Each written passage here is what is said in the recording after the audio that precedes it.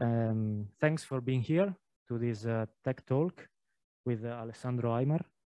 Uh, I'll firstly introduce him and then I'll leave the floor. So the talk is entitled uh, Energy Efficient Convolutional Neural Network Accelerators for Edge Intelligence, as you may know. Uh, Alessandro received both his uh, Bachelor of Science and Master of Science degree from Politecnico, his master together with uh, INP Grenoble and the EPFL in Switzerland. After working as an engineer at Imagination Technologies on the PowerVR architectures powering the, at the time Apple iPhones and smartwatches, he joined the Institute of Neuroinformatics at uh, ETH Zurich for his PhD studies. In uh, 2017, he founded Synthara, a startup designing ultra low power and high energy efficiency hardware accelerators for deep learning algorithms. Today, he is the CTO of Synthara, leading the technology development and the research efforts of the company, focusing on both digital and mixed signal electronics. Please, Alessandro.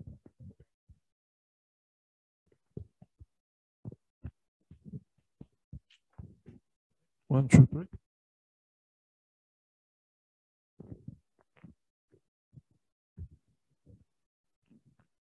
Can you hear me? Does it work? Okay, so thank you everybody for coming today. Uh, we are a little late, so we'll try to shrink the presentation to avoid you to go home too late. Uh, the idea of today is that I'm going to present to you uh, the research I did during my PhD uh, when Maurizio invited me here to do to give the presentation, the idea was to show something that uh, uh, is totally academic. So everything that you that you are going to see is basically my PhD thesis with some part cut out, but that has uh, some repercussion in uh, in the real world. So it's not just theoretical work because uh, I was a student here, I was a student at Politecnico, and often I got the feeling that what we were doing was purely theoretical, especially when you're doing a PhD. But I want to show you that what you do can actually have some impact in the world and how does it look like a research that can be translated afterwards into, into, into a product. So uh, the two main topics of the presentation are going to be Nullhop and TrueNullhop, that are two uh, digital accelerators that I designed during my PhD thesis with the idea of showing what are the key architectural principles that I developed during these uh, four years. I will cut short the biography since I got already a nice introduction. The key point is that I'm an alumni. I was sitting in this very room about 10 years ago. Uh, and after that, I been uh, for a while, let's say three, four years into the industry, working mostly uh, on GPU design. And, and, then I got back to, to Zurich for my, for my doctoral, uh, doctoral research. And there I founded my current, current startup.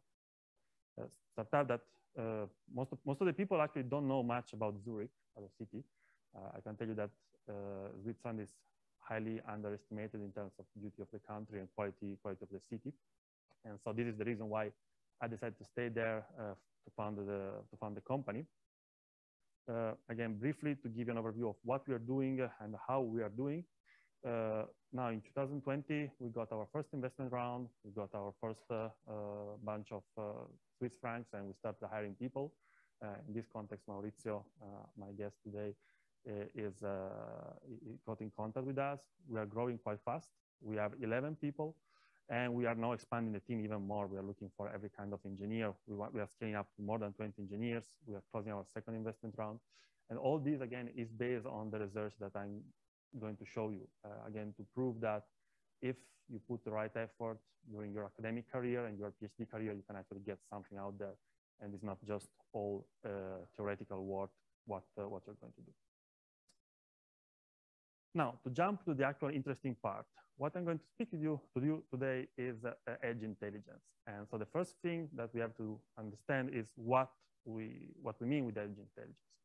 So with this very generic term in this presentation, I refer to any kind of device that requires data to be processed in place. Uh, a lot of times this is confused with IoT, but it's not just the case. So if you think a self-driving car, so it's not a small device, it's not a tiny device, it's actually a pretty big device. You can put a server on it. This is still an edge device. Why still an edge device? Because you cannot, it's not possible, it's literally impossible to compute whatever kind of computation you need on the cloud. uh, you hear, for example, in, in, the example of self-driving cars, a lot of noise about uh, uh these um, telecommunication companies that want to do 5G-driven uh, autonomous car. Uh, they never answer the question, what happens when there is a gallery in the street and the car doesn't have signal? this is the kind of device, this is the problem that I try to solve during my, during my thesis. What, what is common between all these devices is that they are battery powered, and this implies energy efficiency. They require real-time computation, and so they must be high speed. At the same time, often they have to be mass produced, and this implies low cost that implies uh, a small chip. The second topic of the thesis and of the presentation is, is the convolutional neural networks. I assume that almost everybody in the room is familiar with the principle of VLSI. Some of you may not be familiar with what is a convolutional neural network. So in the next slides, I'm going to give you uh, an introduction on the topic as well. But to make it very short, a convolutional neural network is an AI algorithm that is ideal for processing images, so spatially correlated data. And today represents basically whatever state of the art of whatever visual task you can imagine. If you have Google Photo, that's, uh, that's a neural network, a convolutional neural network. If you use, I don't know, uh, the emoji of the iPhone, the one that follows your face, that's a neural network. Uh, face recognition, biometrical scan, whatever AI application involving images that you can imagine today is done with some variant of convolutional neural networks. The problem of convolutional neural networks is that they requires billions of operations. Uh, I even in my, not much in my academic career, but in my professional career, I faced network requiring one tera operation per frame. One tera operation per frame is a gigantic number that they requires a workstation to be, uh, to be computed. And of course, this is a huge challenge when it comes to implementing in something that is uh, energy efficient, but especially a small area and so uh, low cost. So these two topics together are the motivation uh, behind my work. Uh, we have a lot of needs and we have a big opportunity and this opens the ability to open, to create custom hardware that takes care of accelerating neural networks in this presentation, I'm going to speak about CNNs, but whatever neural network you can, you know, you can find in literature, it has the same problem. It requires computing power. And as electronic engineers, our duty is to provide this electronic power in order to enable new uh, applications. Now, when, uh, when it comes to custom hardware, you can face the problem in different ways. You can start uh, taking just the throughput. You can handle just uh, minimizing the area you can say, okay, uh, I just care about being low power, how fast you go, we don't care. In this presentation, let's say mm, in my research, I always try to find a balance between these different aspects of the design. Uh, for sure, the main one, the driving force was energy efficiency. So having high throughput, but consuming uh, low power at the same time. But in general, everything had to uh, be somehow uh, balanced. I didn't, I was not interested in creating I don't know, uh, one milliwatt accelerator that was not actually useful for anything. Uh, a lot of people do that, and there is a lot of value in that research as well, but that was not uh, uh my interest. Uh, when I started, it was late 2015, early 2016. The state of the art was by ETH of Zurich still, but, uh, the, the work was done by Luca Cavigelli, Lukas Cavigelli, uh, an amazing guy. If you are looking for some good papers in, in literature to read, I suggest you to look for him. Uh, today, he betrayed academia to join Huawei, and he's a, a, senior researcher there. Uh, clearly, they pay better than the ETH. Uh, but the work he did was one of the first of, of say, the modern wave of AI accelerators and uh, he was famous for this matrix of uh, 437 gig operation per second per bar.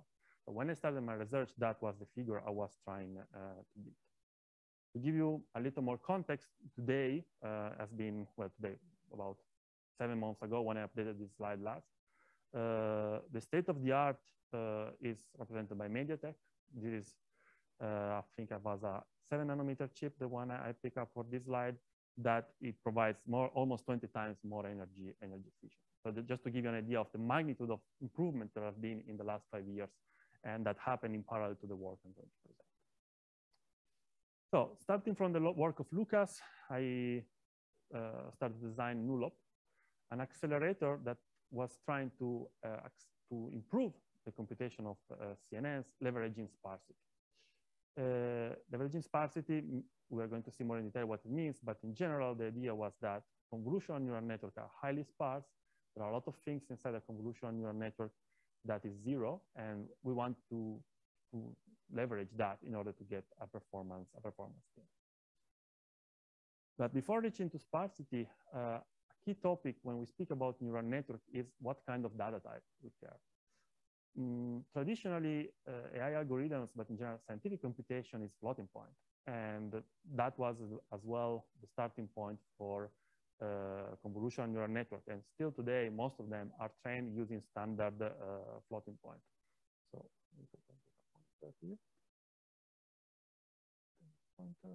yeah. So standard floating point. So we have a, a significand that is 23 bits. We have an exponent. We have the sign. Is a data type that is great when you have to carry on scientific computation because it's highly precise at the same time as a very large dynamic range. But unfortunately, when it comes to hardware, it's pain. So uh, I don't know if how many of you are uh, nerd enough to check every day what is the size of the last core by AMD in terms of CPU and GPU. But you will realize that the GPUs today are far larger than the CPUs. And the reason is that a GPU includes a gigantic amount of data path required to support floating point. In case of GPUs, even 64-bit floating point. And this is a huge difference from CPUs that, well, they need, a, if they, they have eight cores, just eight floating point pipelines. A lot of times they're even shared between different cores. And so you can shrink the area a lot. And so this clashes somehow with the, idea and, and, my interest in finding uh, uh, energy efficient and relatively small, cheap accelerated neural networks. And so I started using what is very common actually today in uh, AI industry that we just start to use integer or fixed point numbers. So we just totally discarded the, the need for, uh, for an exponent. We rely on the people on the theoretical side to find a way to try and to train this network and to prepare them to be used for inference. And it's true, for them, the work is a lot harder. But today it's possible to train a neural network with integer data types without basically losing any accuracy. And this is a gigantic advantage for, uh, for us that we design hardware. And uh, now, now that we have fixed the data type, uh, in order to get to the next step that is understand optimization, I implemented a short overview for those of you that are not familiar with convolutional neural network. So a convolutional neural network is based on an input image that is overlapped with a kernel. Here is a three by three kernel uh, that is shadowed that moves over the image and progressively generates the output pixel, computing basically uh, a convolution operation. And the power of this operation lies in the fact that you need very few parameters. So the number of elements of this metric is very small. And so it's very easy to train this network in comparison to other kind that can have uh, gigabyte, even tens or hundreds of gigabytes of parameters to be trained. So this is uh, the real secret that led uh, convolutional neural network to their success. The second key operation that we're going to speak about today is pooling. That is a downsampling uh, operation. Uh, it's again a relatively simple operation. Here you see we have four values that are compacted to become only one, using, picking the maximum. And the reason for that is that a lot of information in our visual field, this comes very closely from biology, is not really necessary. Uh, once my brain grasps that the object in front of me is a chair, it doesn't really need to remember that every single pixel in front of me is a chair. Everything can be collapsed very easily into uh, a single value, especially when you start working into an higher dimensional space. It's, uh, uh, it's a redundant information that we can, uh, we can discard. And the third operation that is going to be, let's say, the protagonist of the next part of the presentation is the so-called ReLU, uh, that stands for rectifying nonlinearity. That is the simplest nonlinearity you can imagine. You take your metrics, you take the values that are negative, you set them to zero, and this is the actual magic that makes neural network work. Uh, I don't know how much you remember of your uh, analysis and geometry class, but if you multiply two consecutive uh, metrics, one, you do a matrix multiplication with another matrix multiplication, the two operation can be collapsed into a single matrix multiplication. So it's really useless to have a chain of such operations because they can become a single one.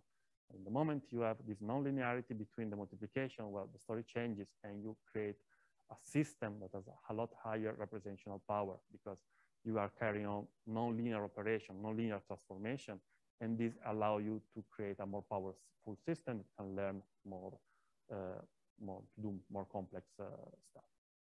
But for us, uh, from the point of view of an hardware engineer, what is interesting of this uh, ReLU nonlinearity is that brings sparsity. And one of the, my very first work was to do an analysis of how much sparsity was involved in, uh, in network having the ReLU. It was already known at theoretical level in the past, but we, we have been among the first wave of groups doing it scientifically. And what we did is that we realized that uh, neural networks, standard floating point neural networks here in blue are very sparse. You can see that on average, we are talking about uh, uh, more than 50% of the values of the matrix in the, in the network are zeros. But if you quantize the network, the sparsity jumps even higher. Uh, here I write 70%, but uh, what we see that with minimal effort to push sparsity, you can even get 90% sparsity in the neural network. And of course, since we are performing a convolution operation that is based on multiply accumulate operations, well, every multiplication by zero is zero. So it's just a waste of energy, a waste of time, a waste of uh, memory access. And this gives a significant possibility for uh, performance gain, energy saving, and general uh, performance uh, uh, improvement. So starting from this observation, I designed uh, an algorithm that is called SMNZVL in a not so amazing way that is based on the concept that we want to reduce the data transfer from the chip to the DRAM. So it's really fundamental in order to reduce the overall system uh, power consumption. But at the same time, we want to be able to skip over this operation that involve a zero without the need to decompress the data. Because in the moment you take the data, you transfer them from the DRAM to your chip, you decompress that, well, you have lost any possibility to gain advantage. You have your zeros, they are back, you cannot really do much. And before I started my work, that was actually what was happening. Uh, you may find in literature, for example, a reference of Eyeriss from MIT. They had this systolic array. Uh, it was very popular, mostly because financed by DARPA. And basically what they were doing is that they were compressing the data outside the chip, bringing it on chip, decompressing them and feeding the zero back into the pipeline and just clock gating every unit that was going to multiply by zero. But that was not really a performance gain. They were merely saved the last step uh, of power consumption, but they were not uh, completely taking advantage of sparsity. And with my research, I wanted to uh, get beyond that. So the idea has been to create an algorithm based on a sparsity map and a list of non-zero values. So we take our input array. In this case, it's a very simple four by four array with just three values we create a binary map that is only one bit per entry, and together we side with it a list of values that are non-zero. So the compression advantage is clear immediately. And uh, uh, the idea is that with this structure, it's very easy to uh, take the information and, and decompress it locally. How? Well, this is how a stream of compressed data will look like. So this is a 16-bit word Uh, imagine that we are now compressing data that are all 16 bits. We have at the very beginning our sparsity map with a single one inside. So we know that the next value coming in is an actual value, a non-zero value that we have to use. And counting the number of zeros here at the beginning, we can count the original position in the position in the original matrix. And this implies that with this simple two, data, this two data, we need everything that is necessary in order to reconstruct and to use the value, the decompressed value. Uh, here we have another example. We have a sparsity map that is completely zero. So we know that no actual values coming after it. And afterwards, it's, uh, uh, again, another sparsity map with some ones. So if we continue the list, there will be more uh, values coming afterwards that have to be uh, understood by the system as actual activations of the, of the neural networks. And this, is, this system is very powerful because it's simple.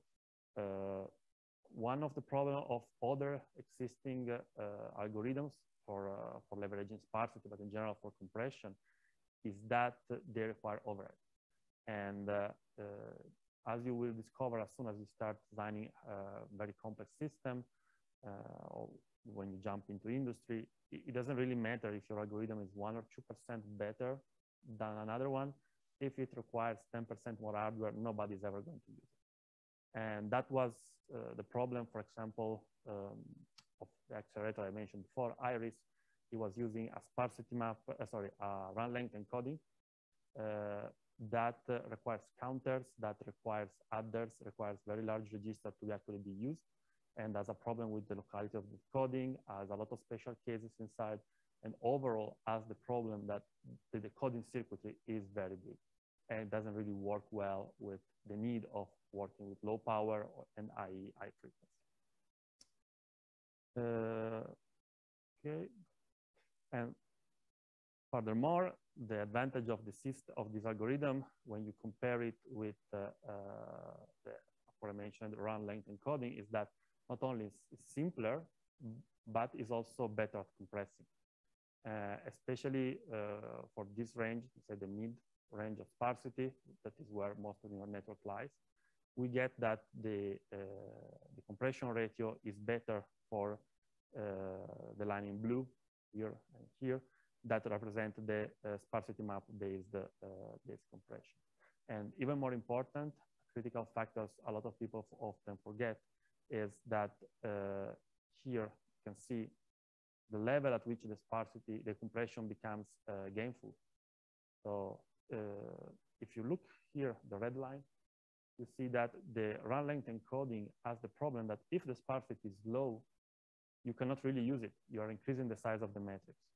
And a lot of you, I'm pretty sure, are thinking, well, it's not a big deal. No, you just turn off the circuitry taking care of that. The problem is that now you need two circuits, one taking care of the decoding of the dense data and one that takes care of the sparse data. You have just double your area, you have just double your leakage. And when you start playing with ultra low power, well, the leakage is one of the key factors that plays the game. Uh, to give an idea, the chip we are designing today, the ALU array, it's uh, 380 milliwatt and 180 of them are leakage. So it, becomes a, a, big factor when you can uh, when you cannot shrink the area. You need to double every kind of circuit. While the sparsity map based system, as soon as you get to a, a, very low level of sparsity, well, everything afterwards is just all pure uh, pure gain. So once I designed the algorithm, of course, it was necessary to design a system in order to implement it and improve its validity. And this is the, uh, the first accelerator design, Nullhop is an accelerator that was based on the principle of layer by layer computation. So we have the network is stored on external DRAM. We have to start the first layer. We move the weight of the first layer on chip. We compute the layer. We, we take the weight of the second layer. We move them on chip, and we keep going on and on layer by layer until we get to the end of the neural of the neural network itself. It's a pretty uh, simple principle by itself, but the hard part was to design this block here on top. That is the one that was taking care of implementing the sparsity, the sparsity-based pipeline, and as well the output, the output block that was taking care of recompressing the output in order to be ready for the next pass, as well implementing the ReLU and the pooling uh, and the pooling operation. Uh, something that is particular is that 90% of the area lies in this block that is actually I would say 20,000 lines of code in an accelerator that is 250,000 lines of code. So the, most of the area is actually not interesting, let's say, from an engineering point of view. Uh, the result of the accelerator uh, were pretty good already for the first time. We presented them at NIPS 2016, uh, about seven, eight months after my PhD start. Uh, we, we, we did every estimation using Global GlobalFoundries 28. Unfortunately, we were not able to tape out the chip. So everything is just, all the numbers I'm going to show you today are actually based on post place and route switching activity propagation on a simulated netlist. Uh, the reason is that a tape out in GF28 is 150K. Uh, my project was sponsored by Samsung. They were generous, but not so generous to pay me the, the tape out. Uh, however, the number were pretty satisfying at the time. So here in the photo, you can see the, the demo we were uh, playing at, uh, at NIP. So basically we designed a system playing rock, scissors, paper against, uh, against the camera. But the number was particularly satisfying when we were comparing it with what was existing at the time. Here you can see on the first row, Nullhop. Uh, the metrics that I, I, was interested the most, uh, as I mentioned at the beginning, was the energy efficiency.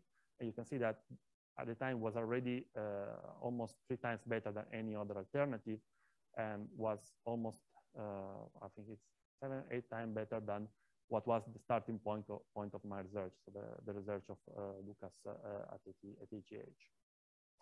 And well, that was interesting, but when I prepared this presentation for my PhD defense, it was even more interesting to look at it backwards because if I, we compare it with the 2020 state of the art, we can see that, yeah, MediaTek clearly outdid it.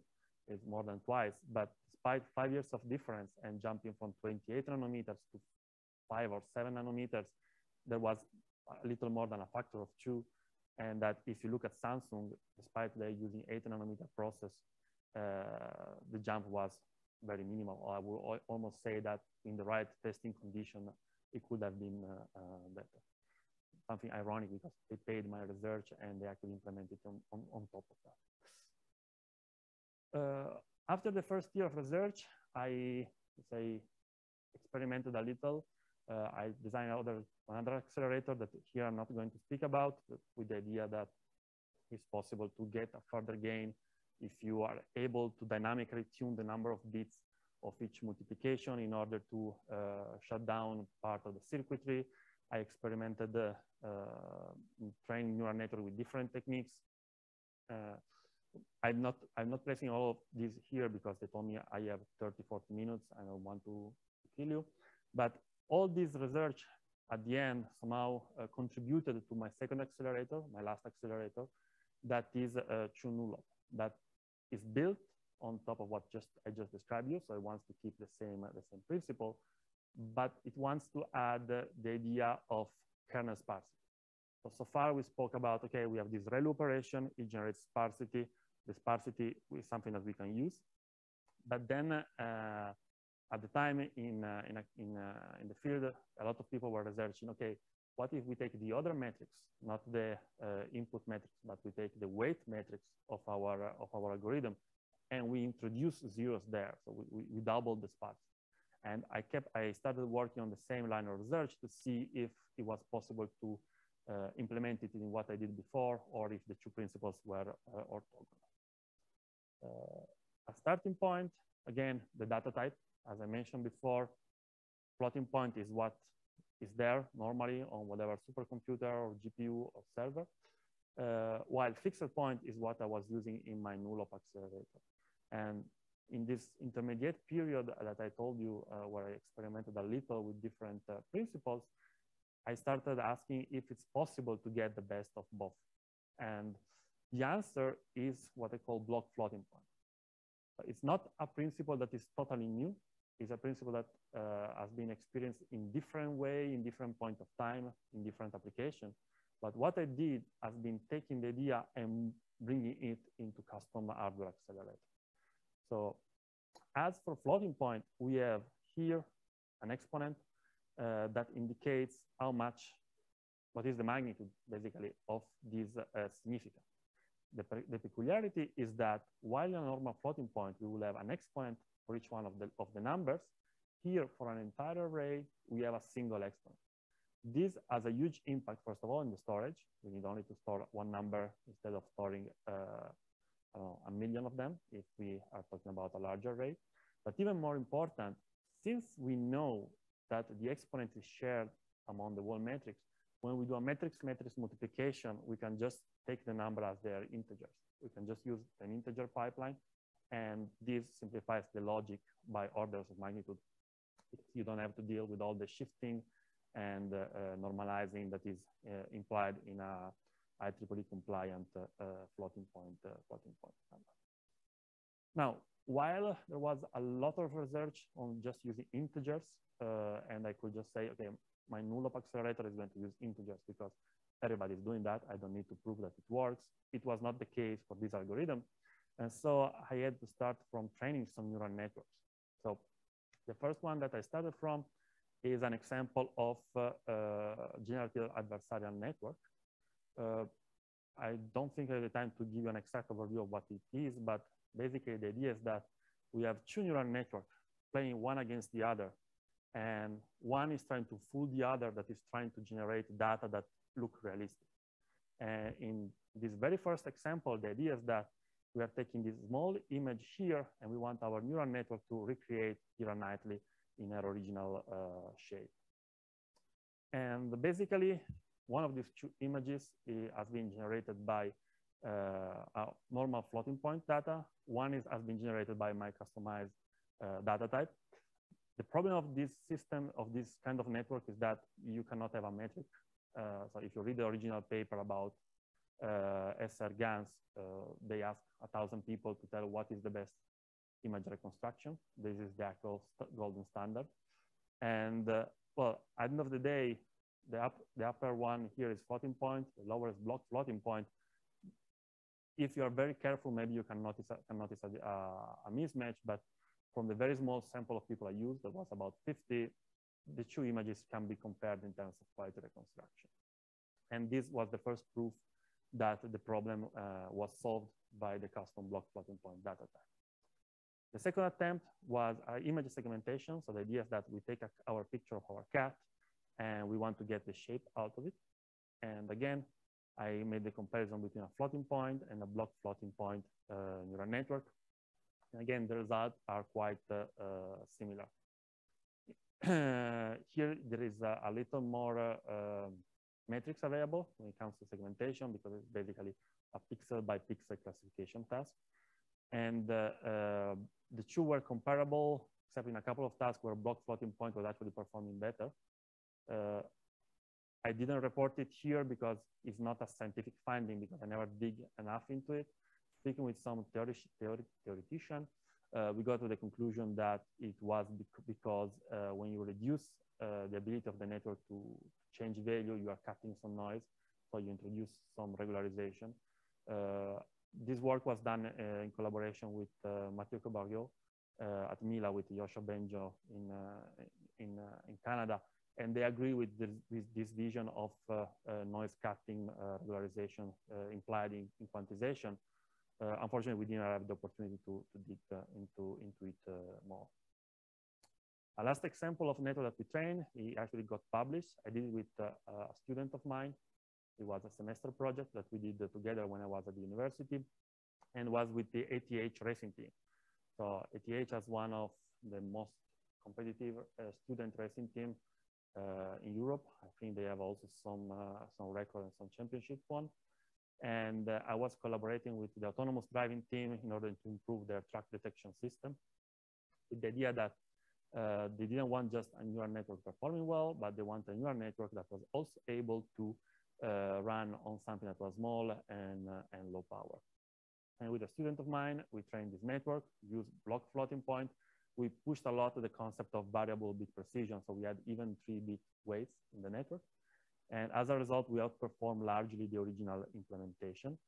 And here, if this, yeah, here you can see an example of the neural network performing uh, on a video of the car. And so basically it's able to detect consistently where the edges and where the cones delimited in the, the track uh, are located, uh, despite the fact that it's using only three bits for the weights and using a block floating point based system and not a full floating point uh, system. Now, once the data type got fixed, got determined, uh, it was the time uh, to get back to the concept of sparsity, the, title of my second uh, of this of this second uh, second chapter. Now, the problem of sparsity when it comes to the kernels, when it comes to the weights of the neural network, is that the kernels are not sparse. Um, it doesn't matter really how you train the network, even if you start playing with regularization, normalization, they will never get too sparse. And so uh, this is not really uh, a good starting point for an accelerator. So what uh, people have done over time is that they introduce what is called pruning. Uh, and a lot of people, when they first heard the principle that we just take the weights and we just decide to discard some of them, we kill the smallest one, uh, it's very natural to think that this is somehow an artifact that we invented. but it might surprise some of you. This is an extremely biological uh, mechanism. When a human being is born, his brain is full of synapses. There are far more synapses in a, new, a newborn than in any of us. And as we die, they progressively die out. And this is the reason why it's so hard to learn new concepts when you are old. You have far less synapses. And so basically your representative power has decreased a lot over time and you're unable to uh, advance your knowledge easily. And basically we implied the same, uh, we use the same principle, I think as being Yann LeCun to do it first. Uh, the, praise, the paper was titled Optimal Brain Damage, Optimal Brain Surgery or something, something like that. And the idea is really that you can actually increase the quality of your neural network, its performance, while removing uh, some connection in the network, while creating some, uh, some zero. Uh, today, the field exploded. There are many algorithms. There is the different rules to select which weights to remove. You can have structural pruning, unstructured pruning. You can have pruning that follows um, an entropy equation that I I will never be able to understand. So let's say that the field grows a lot. Uh, but the key point is that you can reduce the number of connections, the number of weights in your kernels, even by 90%. And this can be done without damaging the neural network performance itself. And this, again, if you're an hardware engineer, is amazing because you have, again, 90% of operation that you can just skip if you design the system in the right way. Uh, at the very beginning, I started from the simplest one. I just say I don't want to, to constrain myself anyhow. I just take my, my kernels, I prune them, I use 75% as uh, reference sparsity because it's an acceptable number. Everybody in literature thinks it's almost a low number, so I'm not uh, overselling anything that I do. I, I just take an average number, I prune the network, I check that the performance is actually okay, and then I try to uh, feed them into my, my architecture. Now the architecture is a derivation of what I showed before. Mm, the only difference between what I did with between weight and activation is that for the weight, I decided to not keep them uh, compressed. So everything is dense, but still I was able to skip over the zeros in the, in the weight matrix in order to uh, save operation. And uh, uh, the idea is that I was able to do that thanks to this pipeline. So here we are receiving the uh, activation, the sparse activation from our input processor, uh, and we get an activation that has as sideband, has side information, the spatial positioning of the activation itself. Here we have some controlling logic that is selecting the activation and is checking if, uh, uh, if the activation has actually to be multiplied by a weight that is zero or not, thanks to a sparsity map specific for the weights that is stored in a separate uh, SRAM band.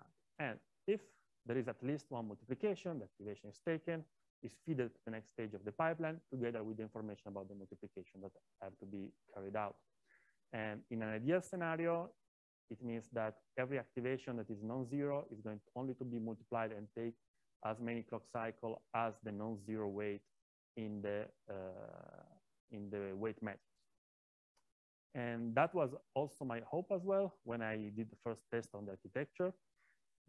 And it was partially the case, but it was not enough. Uh, it was not enough because, as you can see here, we have an increase in energy efficiency. We have uh, an increase in throughput, but also an increase in power. And if you do the math, if you take in account that I was using 75% with sparsity, something didn't really adapt because you should get a factor of four of increase. You can say, okay, maybe four is too much because you know uh, the there is an overhead uh, for for the logic and everything, but it's really far away from what we are seeing here. Here we are basically seeing a factor of two. So something was wrong, something was uh, not uh, uh, not working. And analyzing the internals of the architecture, uh, something that I did with an automated test bench. I don't know how many of you are familiar with advanced verification, but if you want to work in industry, I suggest all of you to study uh, UVM test benches. Uh, using that, I realized that it's true. Uh, my weights, my multipliers were never multiplying anything involving a zero. The problem was that there was a huge imbalance between the different pipelines. And the reason for that is that I was just taking the weights of my kernels, killing the smallest one, and computing what was still there. And that was really not an efficient way because what you can get is that one kernel can completely die. So we have removed the smallest weight in magnitude. And this, there is nothing to compute here anymore, while another one like this uh, bottom right here can still have a lot of operation. If we assign to different pipelines the different values, well, at the end of the day, you get that one MAC unit is completely idle, while the other one is only computing zero, is 100% utilization, but is bottlenecking the uh, the whole system. Uh, to get beyond that, I got back to the algorithmic side and I say, okay, uh, I wanted the most possible general accelerator. Maybe this is not really possible. This is not really the case. So I used the most simple uh, pruning announcement that you can find in literature. That is, I stopped pruning everything layer by layer, and I started pruning the arrays kernel by kernel. So somehow I was enforcing that locally the sparsity of a single kernel matrix was, uh, was constant. And this implies that, for example, here instead of having zero, all zeros, I have still two values. Here again, I have still two values, and so on and so on. And this despite the fact that if I, if you go back to the previous example, here in theory I should get all zeros because the weights of this kernel are a lot, uh, a lot, a lot smaller. So when I did that, I feed them to the accelerator. And of course, what happens was that the uh, workload unbalance disappeared. And the accelerator was able to provide 10 tera operation per second per watt, uh, clearly beating whatever was existing at the, uh, at the time, including the accelerator from, from Samsung and MediaTek. That was, say, that they were the reference point when I completed my second, my second accelerator despite the fact that, again, we're talking about 28 nanometer process that in 2020 is kind of uh, primitive. And another big topic uh, in the field, besides the raw uh, energy efficiency, is area efficiency. Because as I mentioned at the beginning, if you want to sell a million of them, well, you need to make them cheap. And a very positive things of the architectural design before is that the area, the area efficiency is high in comparison to uh, what are the other acceleration literature and is still comparable with the others, with the two best ones, despite the difference in technological node. And as I will see in few slides, this is still a big topic today uh, for reasons we will analyze in the next, uh, in the next few slides. So to conclude, in this presentation, I presented you two accelerators, uh, Nullhop and TrueNullhop. And I show you what, how good are these numbers. And uh, uh, since a question that I got asked a lot is what's next? This slide has the idea to show you what's next. And what's next is the so-called DRAM power. I'm pretty sure most of you have heard about it, but uh, when it comes to computing today, the access to the external memory is what gives all of us. Uh, you can be the most amazing VLSI designer of the world, you're going to get poor performance because when it comes to access to external data, well, it's horrible. Uh, here I use DDR3 memory, low power DDR3 memory, I think, and the number are bad. If you pick DDR4, maybe it gets better, but the core message is that you lose almost 50% of your energy efficiency when it comes. And this is why designing a chip, not only for the chip, but a chip inside a system is fundamental uh, because you have always to pick the context in which you're operating.